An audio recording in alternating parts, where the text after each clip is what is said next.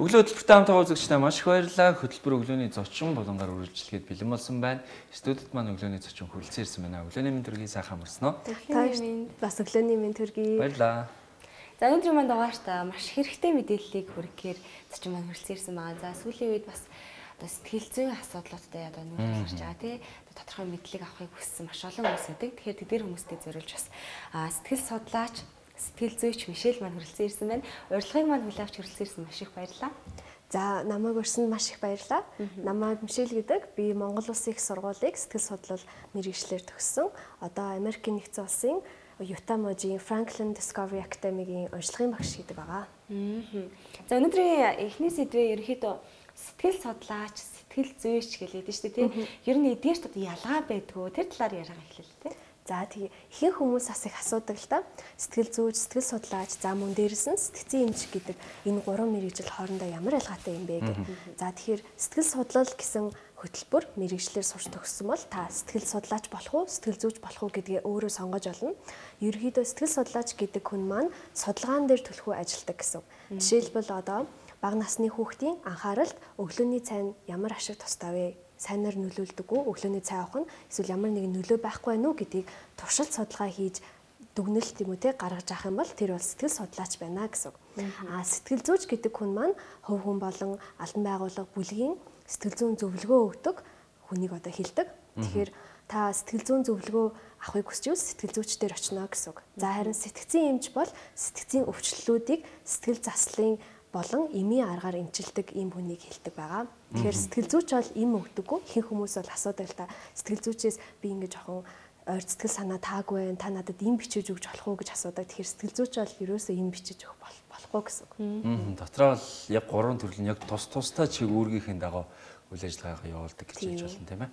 За, ер нь сүүлийн жилүүдэд сэтгэл судлаач дээр ер нь хэр их хүмүүс их очиж байна яагаад гол шалтгаан нь яагаад очиод байна гэдэг тал дээр бас та бүхэн бас нэг тийм баримжаа байгаа бах тийм. За, ерөөхдөө хүмүүс юу гэж боддог вэ гэхээр би сэтгэл зүйн айгүй асуудалтай, хүнд асуудалтай үед сэтгэл зүйчдэр очих хэрэгтэй байна гэж боддог. Тухайлбал сэтгэл готролтой үедээ ч юм уу тийм. Энэ дээр болохоор бид нэр юуг олон нийтэд уриалахыг хүсдэг вэ гэхээр хүнд бол сонсогдох хэрэгцээ гэж бол байглаасаа байдаг. Энэ бол анхдагч хэрэгцээдэд нэг. Тэгэхээр би ямар нэгэн зүйл ярмаар байна. Тэр нэг нэг хүн сонсуулмаар байна тий. Тэр үедээ та зүгээр ямар нэгэн асуудал хөө зүгээр л хүнтэй ярилцмаар байгаа үедээ сэтгэл зүйч дээр очиж болно. А мөн сэтгэл зүйн ямар нэгэн асуудалтай үедээ сэтгэл зүйчэд мэрэгжлийн хүнд хандсанаар та өөрийнхөө өөрийгөө сайн ойлгож асуудлыг нь шийдвэрлэхэд сэтгэл зүйч нь тусалж өгдөг гэсэн. Одоо сүүлийн үеүүдэд сэтгэл зүйчдэр хүмүүс маш их хандах болсон. Яагаад гэвэл сэтгэл зүйн боловсрал олон нийтийн дунд маш сайн нэмэгдэж байна гэж хэлж болно. Ер нь хідээс хідэн насны хүмүүс илүү их хандж байна тий. Ач туснаас яг юундаа байна. За сэтгэл зүйн зөвлөгөөнд бол ихэвчлэн ээж аав нар хүүхдүүдэд авчирдаг. За тэгээд мөн хос хосууд болон гэр бүлийн хүмүүс айгүй их ирдэг. За сэтгэл зүй бол мэдээж хүн болгон янз харилцан адилгүй байдаг байх гэж бодож байна. За тэр дундаа бас бага насны хүүхдүүдийн сэтгэл зүй бол маш өөр байдаг болоо гэж бодож байна. Ер нь хүмүүс зөвлөдөн шүү дээ.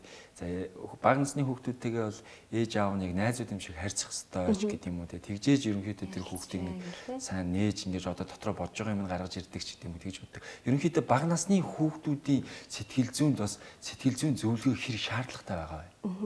За тэгэхээр эцэг эхчүүд хүүхдтэй ямар үед сэтгэл зүйчдэр авчирч байна вэ гэхээр одоо хүүхд нь нэг удаа анх удаа хотлоо ярих ч юм уу те эсвэл бага насандаа ингээд ээж аваахын төрөвчөөс ингээд нэг 5000 төгрөг чим авах ч юм уу те. Тийм үеүүдэд яагаад миний хүүхдэд ийм юм болов те? Энэ яг юутай холбоотой болоо? Миний хүүхэд одоо ийм багаас ийм муухай юм яаж байгаа юм болоо гэж ирдэг. Тэгээ энэ юу гэсэн үг юм бэ гэхээр бид нар хүүхдийнхаа сэтгэл зүйн онцлогийг нь тухайн хөгжлийн наснд нь сайн мэдэхгүй байна гэсэн үг.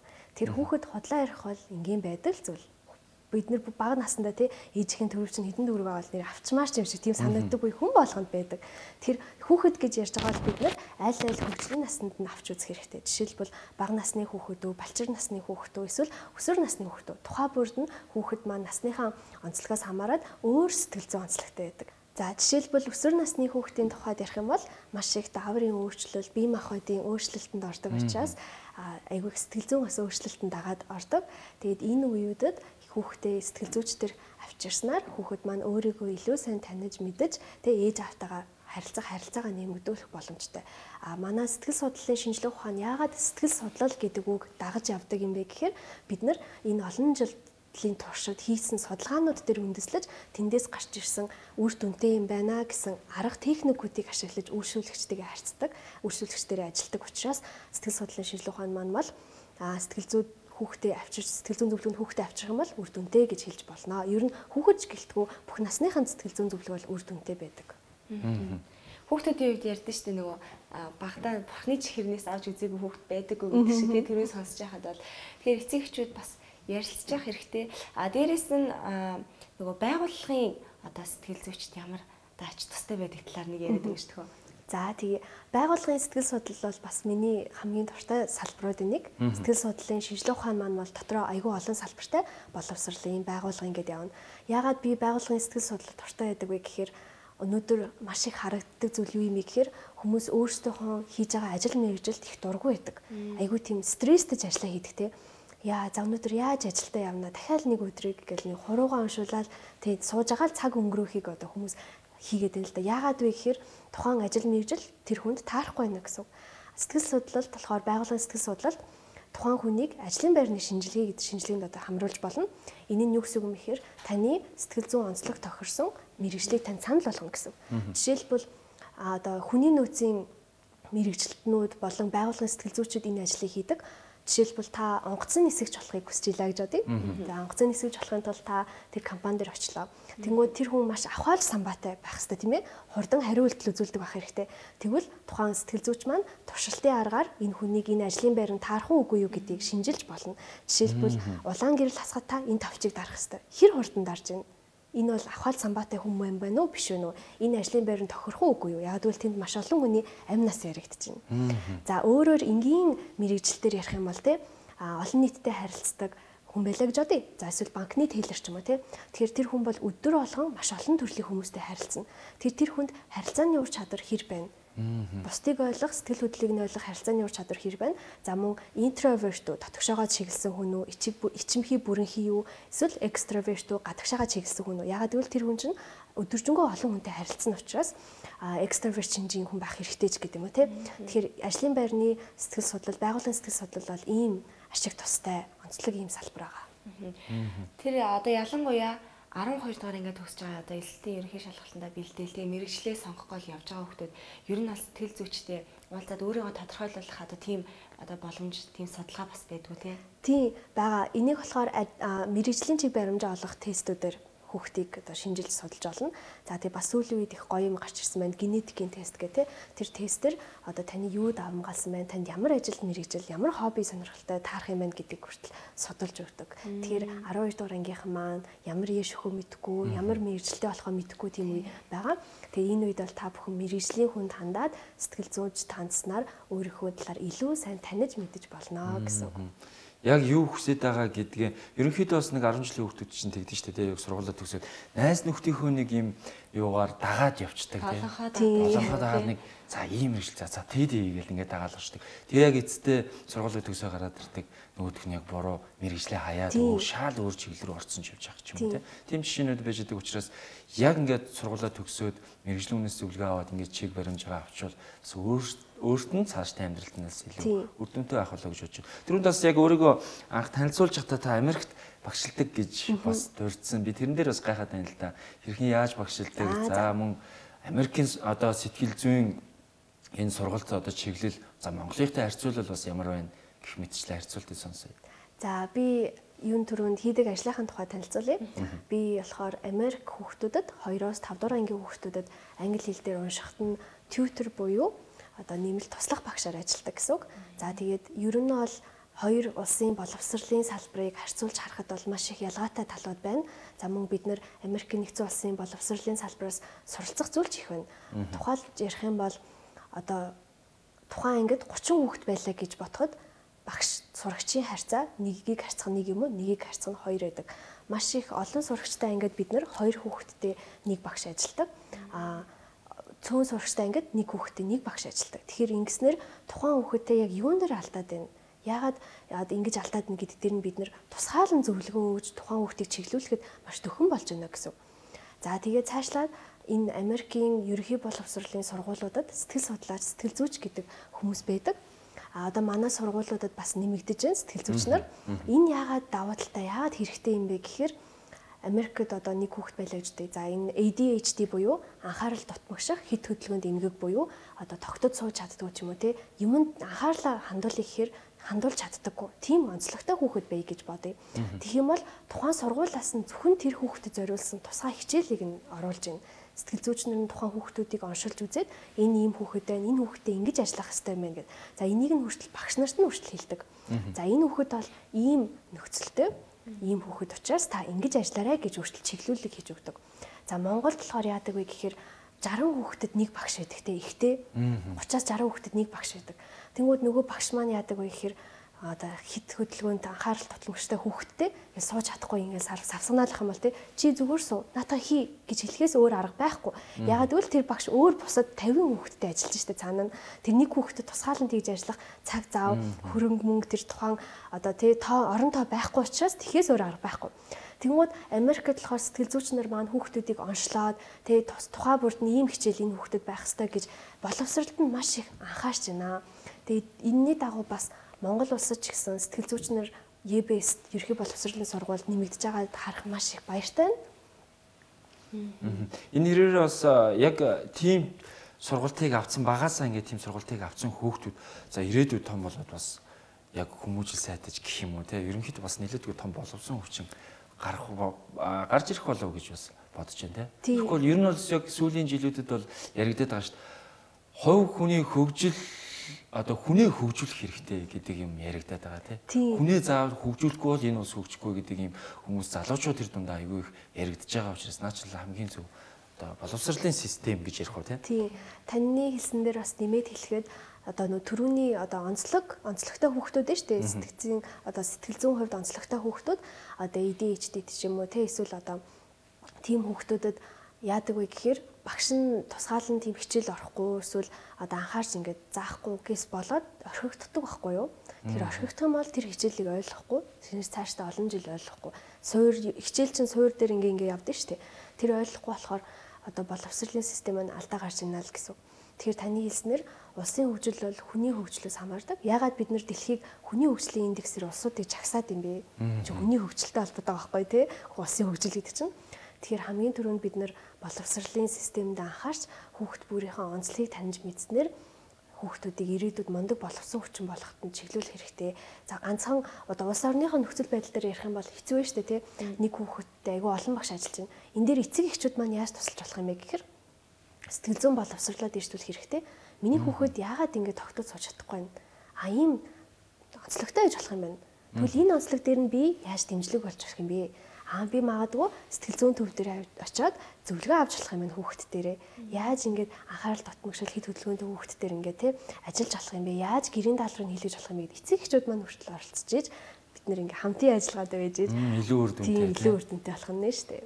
Ангидаа одоо ингээл гүүгээл хүүхдүүдийг сахилахгүй хүүхд гээл дарыг гээл те тэгж ярьдэн штэ их манай энийг сахилахгүй гээл те тэгэхээр ер нь бол яг өөрийн хүүхдийн онцлогийг маш сайн ойлгох хэрэгтэй юм байна. Тэгээд ерөнхийдөө бол хүүхдтэйгээ тулж ажиллах сэтгэл зүйн зөвлөгөө авах нь бол маш чухал.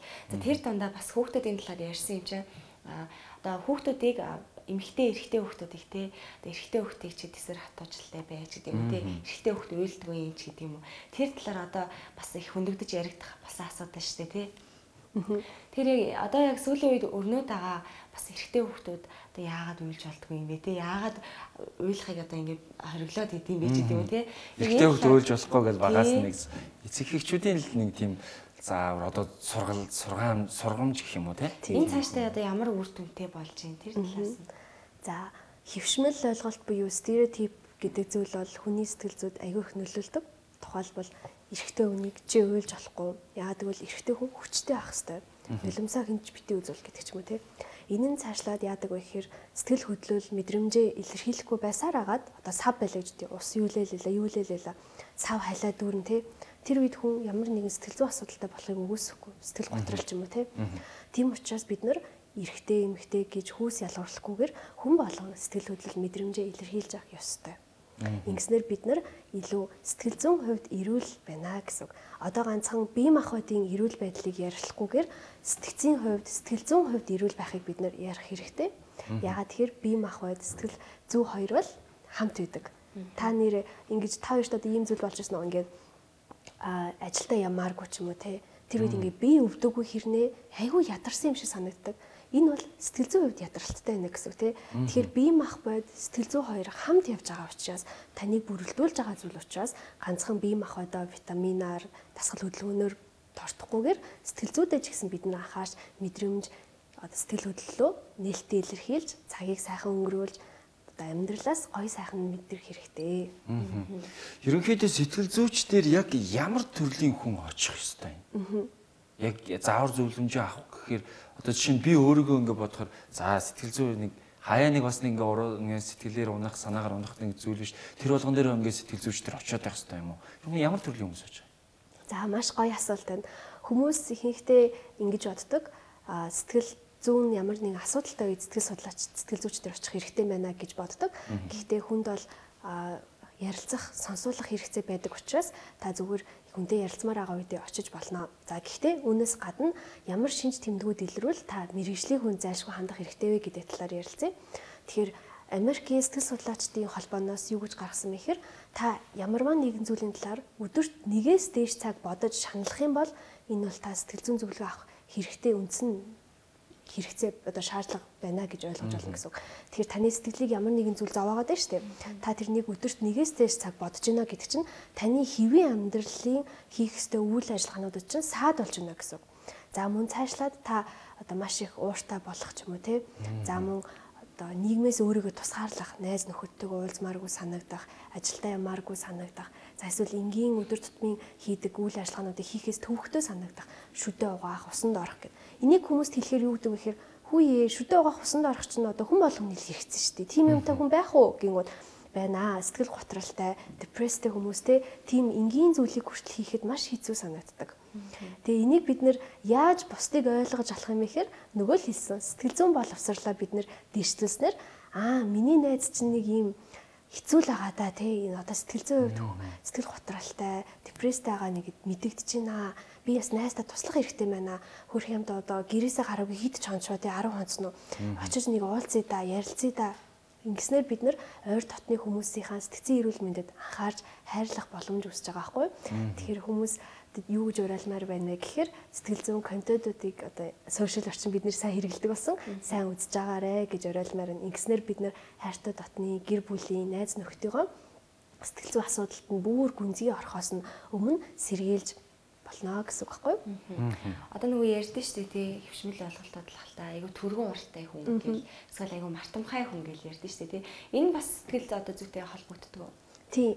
Одоо хүн болгон адилгүй хүн болгон өөр өөр сэтгэл зүйн онцлогтой байна. Тэгэхээр одоо гадагшаага чиглэсэн хүн байх юм бол их нээлттэй, хүмүүстэй чанга чанга ярьж инех дуртай, гадуур цагийг өнгөрөх дуртай ч юм уу тий.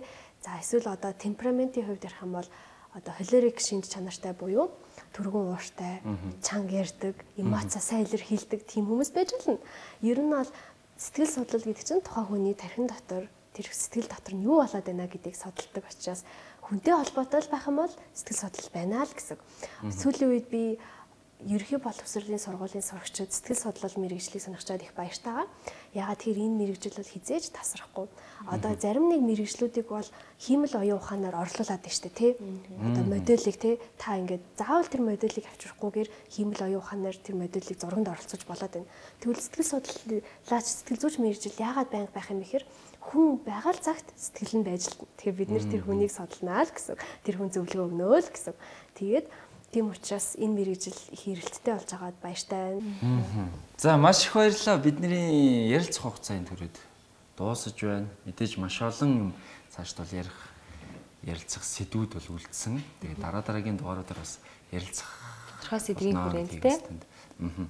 Тэгээд үзэгчд маань бас сэтгэл зүйн талаарх бас тодорхой ойлголт, за мэдлэг, за ер нь бас бид иргэд маань бас нэлээдгүй мэддэг баг. Ер нь сэтгэл зүйчдэр нэлээдгүй болдог болсон учраас мэдж байгаа. Тэгэхээр энэ талаар бас тодорхой мэдээлэл хүргэх гэж зорилоо. Тэгээд бас мэдээллийг авсан болов гэдэгт итгэлтэй байна. Баярлалаа үзэгчдээ энэ удаагийн дугаарт маань сэтгэл судлаач, сэтгэл зүйч Мишель оролцлоо. Та бүхэнд хэрэгтэй олон олон мэдээллүүдийг хүргэсэн байх гэж найдаж байна. Тэгээ дараа дараагийнхаа дугаараар ч гэсэн үзэгч та бүхэндээ тодорхой нэг асуудлын хүрээнд сэтгэл зүйн одоо сэтгэл судлалын салбарт одоо ажиллаж байгаа Мишель маань яг үзэгч та бүхэндээ бас тодорхой мэдээллүүдийг хүргэх болно гэж хэлмээр байна. Тэгэлгүй ахад өглөө хөтөлбөртэйгээ хамт байгаарай. За энэ удаагийн хөтөлбөр маань энэ төрөд өндөрлөж байна. Маргааш өглөө иргэн уулзлаа. Тэр баяртай. Баяртай.